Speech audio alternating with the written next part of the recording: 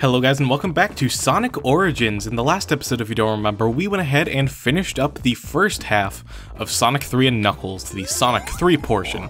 Now we're into the and Knuckles portion. Uh, first we're starting off in Mushroom Hill Zone. Hi Knuckles.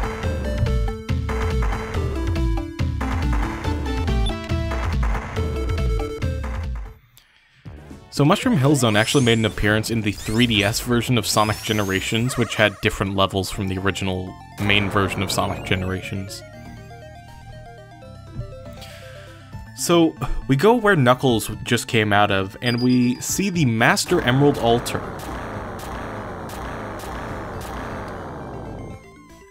It's at this point that we lose the Chaos Emeralds, meaning that we can't actually uh, transform into Supersonic at the moment. But if you go ahead and jump on one of the Chaos Emeralds, we get transported to a new special stage. That's right, in Sonic 3 Knuckles, you have to actually technically collect 14 whole emeralds, which is a huge step up from the last game. So we're gonna go ahead and get all of those really quickly. Uh, you actually don't even have to you can actually get all of the Chaos Emeralds in the first zone of Sonic and Knuckles, just like uh, in Sonic 2.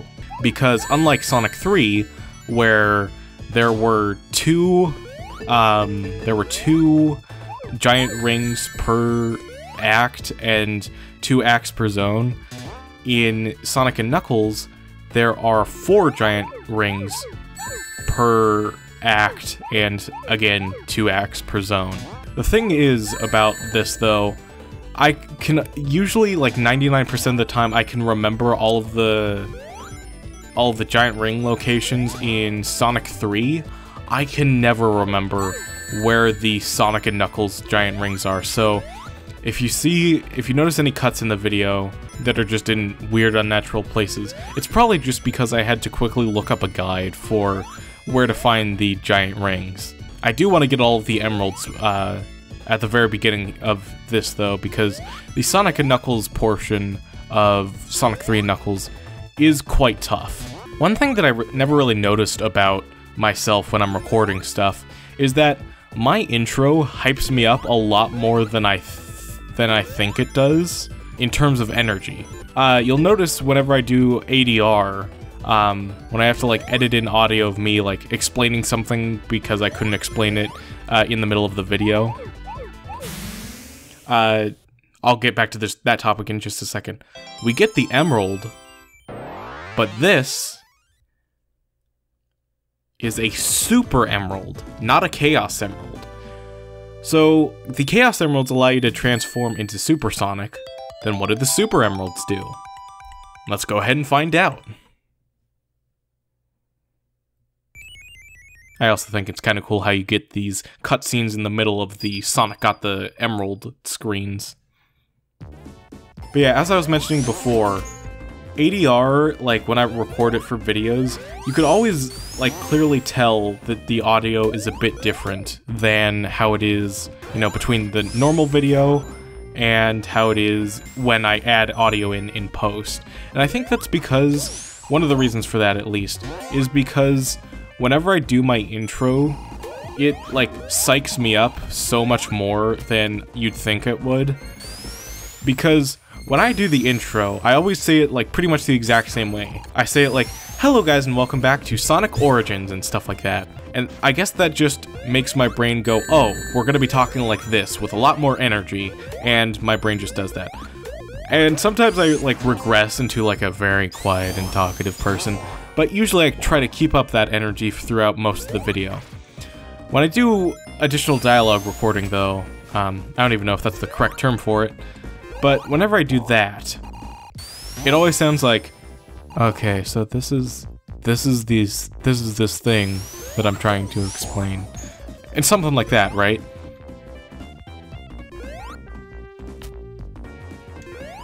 There's giant ring number two. Unless I'm mistaken, I remember this one being really, really hard. Yeah, this is the one. So I've officially, at this point in the series, crap.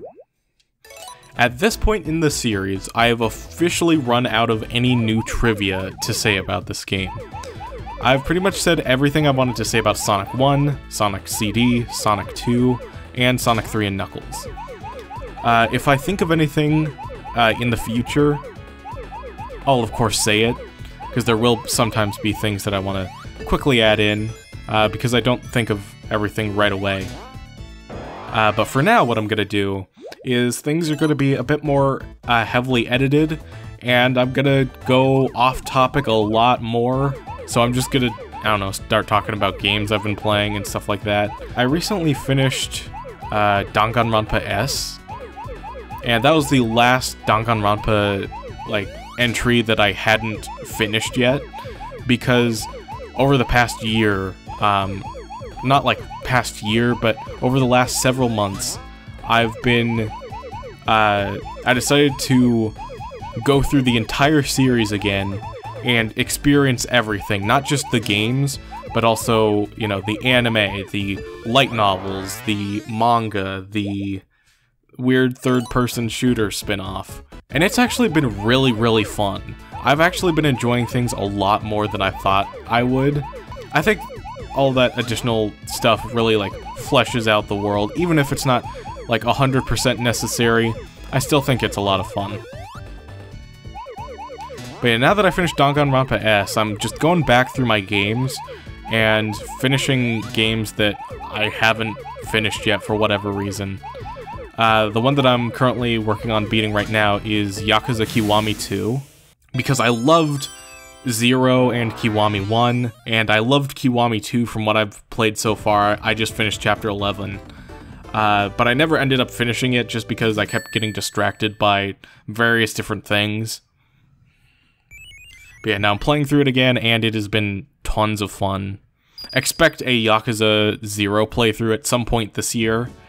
Uh, hopefully, if I can fit it into my schedule. It's a very long game, but I'll still try to uh, start the LP by the end of this year. And then Persona 5, I technically never finished, although I have seen the end of the game through Let's Plays and stuff like that, and I got to, like, I think I'm in the middle of November in my playthrough. Uh, I just technically never finished it, and so I'm gonna go ahead and rectify that real quick. Originally, I was, like, playing through the game with, like, a walkthrough for, um, for social links and stuff like that, but I realized, at least for me, psychologically, the act of exiting out of the game or not exiting out of it, but like tabbing out of the game, going to like look up a walkthrough, um, you know, and looking through the guide to make sure I get everything right. Even though I enjoy like making sure that I get all of the correct dialogue options, it's just not as fun to play through. So I'm gonna actually, you know, use my brain when playing through the game. Who would have thought playing through the game using your own mind is a lot more fun? yeah, I'm actually gonna go back and play through all of the Persona spin-offs as well because I haven't finished any of them. I got like most of the way through Persona 4 Arena and then stopped because I kind of got bored in the middle of it. But yeah, I'm going to play through the Arena games, the Q games, uh, Strikers, Tactica. I'll even see if I can get the dancing games somehow.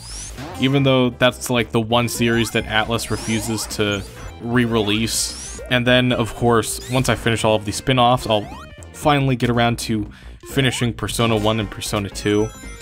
I don't know, let me know if I'm just an idiot or something. I think Persona 1 is what made me realize that I'm really bad at old video games. Because going back and playing through it, what happens to me for that, with me for that game, is that I get to, I play through the game, and then I get to this specific point where all of the enemies immediately one-shot me, and I just keep dying over and over, and I realize that I'm not emotionally connected enough with the story or having fun with the gameplay to the point where I want to continue playing even through, you know, all of these tough enemies. And so I stop playing, and I go online to, you know, at, to see what other people think about, uh, you know, Persona 1 and the difficulty. And every single person I've seen says it's way too easy. And so at this point, I'm just like, am I stupid? like, Persona 2 Innocent Sin is another one that people say is really easy, at least the PSP version.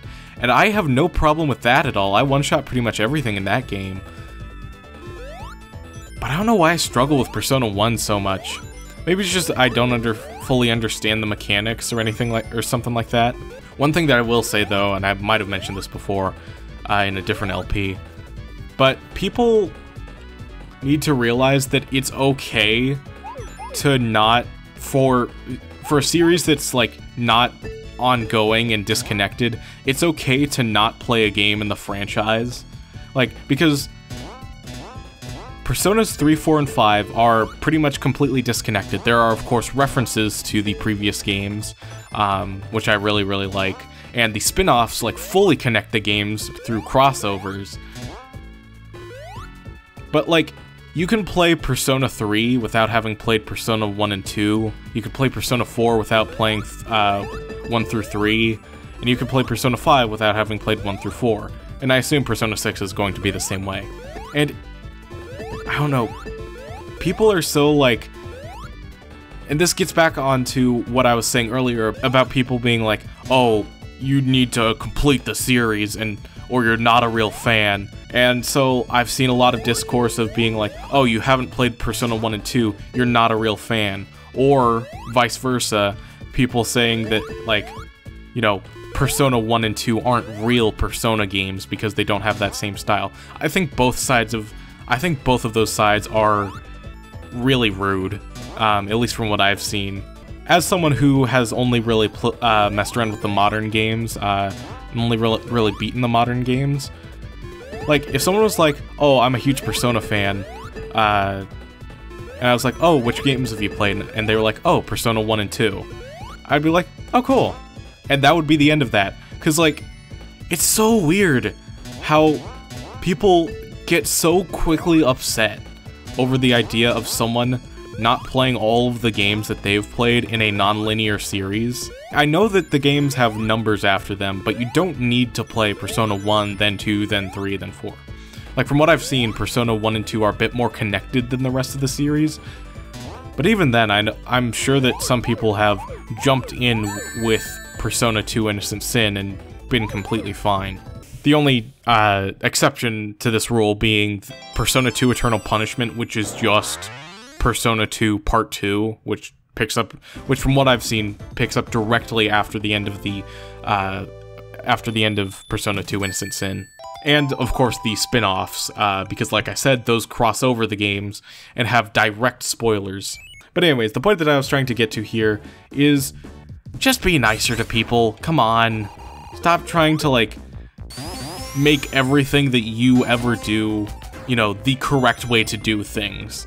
And please note that I'm only talking to a specific subset of people. I'm not talking about, like, everyone who just... Like, for Persona 1 and 2 fans who are just like, I just really want people to experience these games that I love. You're completely fine. That is... Do not let me stop you from being like, oh, hey, I really highly suggest you check out this game that I like. What I'm trying to, you know, condemn here is people who try to make others feel bad for not playing a specific game in the, in the series.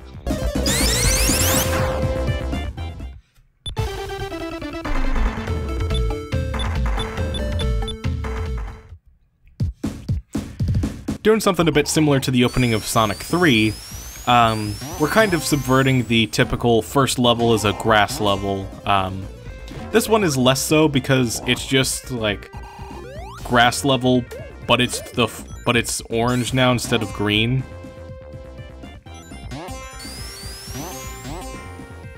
That was super cool.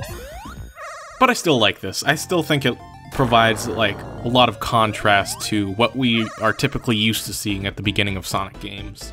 So recently, the official Ace Attorney website has a timeline on it now, like a chronological timeline of all of the different uh, of all of the different games. And if you know me, you know I love timelines and putting games in like chronological order and stuff like that. So instantly, I was like, I love Ace Attorney, I love timelines, this is the coolest thing ever. A very interesting thing they did is they didn't give us concrete dates for when uh, the games take place. Because if you, for the Ace Attorney series, if you ever try to look at when the games take place, like what year the games take place and keep track of that, some of the dialogue starts to not make sense. So they just do this thing where it's like, the second game is a year after the first game. The third game is a year after the second game, so on and so forth, which matches up a lot more with the dialogue. But yeah, I love whenever, you know, franchises release official timelines for their series. It's just so cool to me. I don't know why. It's just one of those weird, nerdy things that I'm into, I guess. With the Legend of Zelda series, uh, people often uh, say that, you know, the timeline doesn't make sense and it was just something that was like hobbled together at the last minute, um, just for the sake of it. But I remember seeing this video uh, recently, which goes into detail on why, like, each game is placed where it is and how, like, if you follow the game's each game's promotional material and stuff like that, you know, it makes sense as to why one game goes into the other goes into the other. If I can find it, I'll be sure to link it in the description. Speaking of timelines and stuff like that, uh, there is, you know, an official Sonic timeline somewhere. It's not been released to the public yet. I assume they're still working on it. Um, if it ever does get released, I don't even know if it's, like, supposedly supposed to be released. Um, or if it's ju just something for people to keep track of. Uh, if it ever does get released, that'll be so freaking cool. And then I'll also have to probably update my, uh, my Canon Sonic slideshow. I'll update that at some point and try to make it a bit more presentable. Because as it just stands now, it's just like I mean, it's not ugly per se, but it's kind of just empty feeling. So one interesting thing about uh, the original version of Sonic and Knuckles is in that version of the game, Tails isn't there. I don't know why this is. Um, from either a from a per story perspective, if I had to make like an out of universe, uh, like a Doyleist reason for why that is, um, it's probably because you know, the game is called Sonic and Knuckles, so prominently featuring a character that isn't either Sonic or Knuckles wasn't their goal, I'm guessing. Anyways, since Sonic Origins is like the canon version of the classic of the original four like classic games, um, you know, Tails is with us uh, during the events of the and Knuckles half of the game, so just one weird little oddity that I thought I'd point out. Anyways, I think we're in the last special stage here. We've been going on for quite a while doing all the special stages, so I think I, fun funnily enough, I might end off the video after only doing one zone.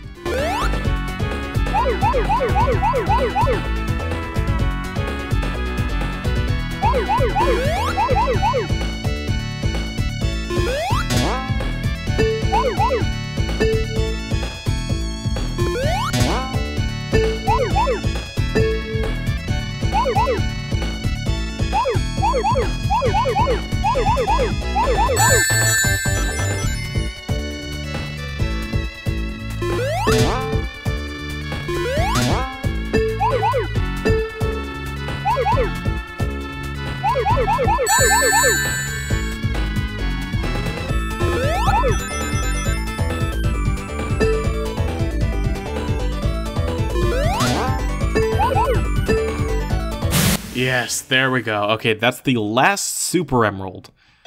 So it's time to see our reward for collecting all of the different Super Emeralds.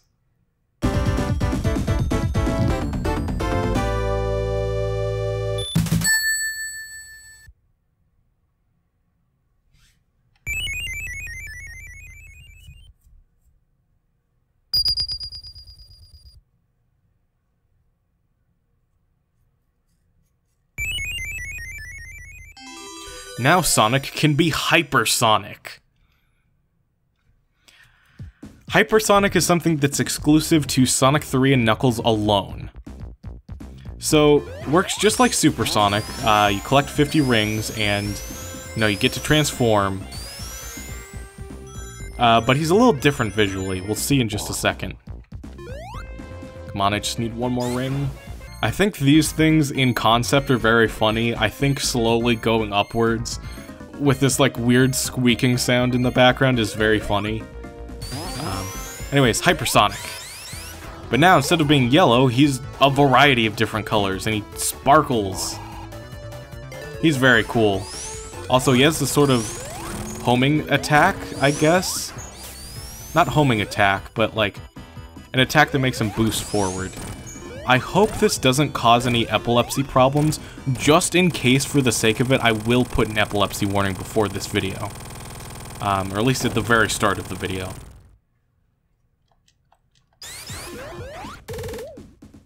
And of course, right before we get to Hypersonic doing his stuff, then I'll also put an extra additional warning.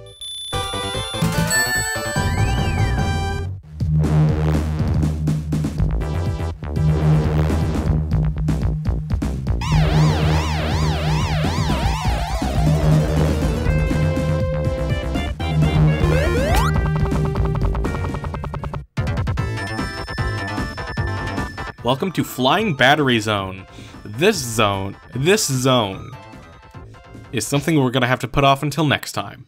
Thank you guys so much for watching, and then the next episode, we're going to go ahead and jump right back into Flying Battery, and maybe finish the game? I'm not entirely sure. We've only done one zone so far, so we might need an additional extra episode for the finale. But yeah, hope you guys enjoyed, and I'll see you guys next time. Goodbye.